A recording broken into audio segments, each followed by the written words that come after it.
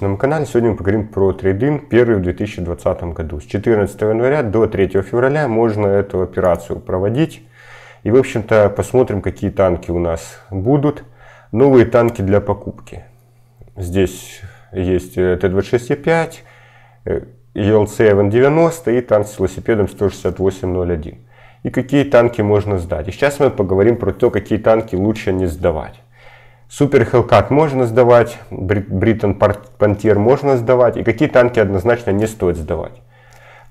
Объект 703 вариант 2 не стоит сдавать, Шварпанзер 58 не стоит сдавать, М48А2 Раундпанзер лучше не сдавать, Е75Т составляем обязательно, и М54 Нагат это одна из лучших восьмерок вообще, ну есть ТРВСку Э, если она не так давно в наборе Лима была, вы ее приобрели, ну, как бы смысл ее сдавать. У нее нормальная крепкая башня, нормальное орудие с пробитием, ну, нету смысла сдавать.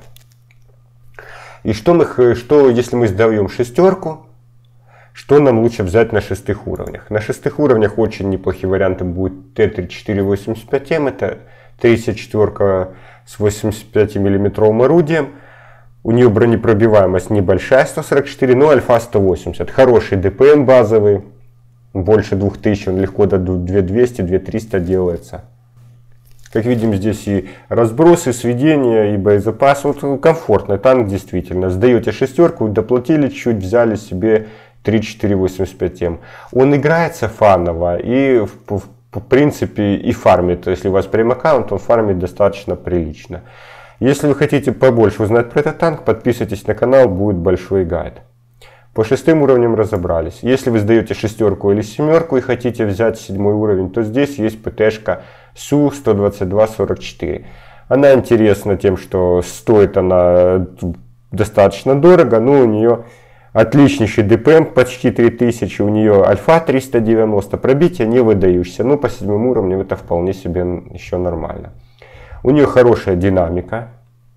И есть лобовое бронирование. Видим здесь 90 миллиметров лоб, борта 75. Э, где-нибудь на средних дистанциях э, она неплохо из этих своих рациональных углов может что-то вытанковывать и наносить в ответ неплохой урон. Для седьмых уровней это такой вполне себе приемлемый вариант. Если вы уже решились э, доплатить какую-то большую сумму, то, конечно, на восьмых уровнях у нас будет танк Лева. Это один из лучших внутриигровых премов. У него комфортное орудие, не самый большой ДПМ, но у него есть пробитие и точность, что позволяет ему в принципе отыгрывать даже на дальних дистанциях. На ближних дистанциях он может э, неплохо отбивать э, ВЛДшкой, маской пушки. Лючок у него не очень большой, но и запас прочности большой. Если вы будете размениваться, 1650 единиц э, нормально позволит вам это сделать. Он чуть-чуть может бортами, потому что борта в принципе 100 миллиметров. Он может и чуть-чуть где-то рамбануть. И, в общем-то, достаточно комфортно отыгрывать. Против 6 и 7 уровней вообще его не пробивает в лоб. Ну, а мы можем даже некоторые восьмерки отбивать. Это вариант нормальный, но стоить будет дорого. По ПТшкам у нас, смотрите. Цена слегка более 10 тысяч, но это очень нормальная ПТшка. ВЗ-120. У нее пробиваемость 248, альфа 440. Динамика нормальная. 120 мм лоб с неплохими углами. Она будет танковать. Большой ДПМ, очень такая неплохая ПТшка на самом деле. И СТРВС-1. Как видим, у нас ПТшка тоже не самая дорогая, но у нее пробиваемость 288 мм база и на премиумных 330 мм. Альфа 390. ДПМ не самый большой, но у нее одна из лучших маскировок в игре, при том, что подвидность Подвижность нормальная, осадный режим. Броня интересная. По правилу трех калибров э, танки с пробитием, с низким пробитием, еще с маленьким калибром, э, до 90 миллиметров, они будут очень хорошо рикошетить. Танки, говорю, у которых там 75, 88, там 83 миллиметра, вот она будет их неплохо отбивать. Но ну опять же у нее хорошая маскировка. То, что мы сегодня посмотрели, это варианты, которые, по моему мнению, достаточно жизнеспособны. Они будут и фармить, тот же ловей фармит, и фановая играться. Это же ВЗшка стоит дешево, неплохо себя показывает.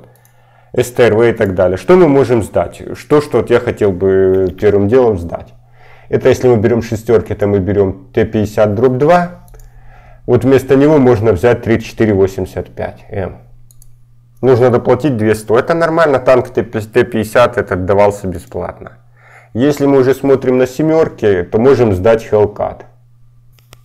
Выбрали мы китайскую ПТшку, супер Hellcat, конечно, мы сдаем и придется доплатить ну, достаточно серьезно. За китайскую ПТшку, но если вы хотите семерку на семерку, у нас есть вариант еще Су-122-44. Здесь видим супер Hellcat на Су-122-44 5100. Ну это нормальная адекватная доплата. И по тяжам, если мы берем по восьмеркам, смотрим. Из восьмерок можно первым делом сдать 34 американский. Он давался бесплатно в 2011 году всем, кто выполнил марафон. И вот с него уже можно как перейти как на ПТ-шку СТРВ. Можно перейти на Леву. 6500. Да, это много, но учитывая, какая огромная стоимость Лева, здесь у нас компенсация будет, ну, как минимум адекватная. На китайскую ПТ-шку можно перейти. Да и, в общем-то, и все. Э, каких-то других вариантов не могу рекомендовать. И еще мы можем сдать э, М4 МЛЕ. Это танк с огромным бронированием, но с косой пушкой, с маленькой альфой. Вот есть М4, если вы брали забоны, есть у нас обычный. Где-то он также здесь есть. И тогда доплата будет не очень большая, потому что тяжи достаточно высоко котируются, их неостаточная стоимость есть, и вы можете вполне себе его спихнуть. Такое было мое мнение. Всем спасибо, всем пока. Подписываемся на канал.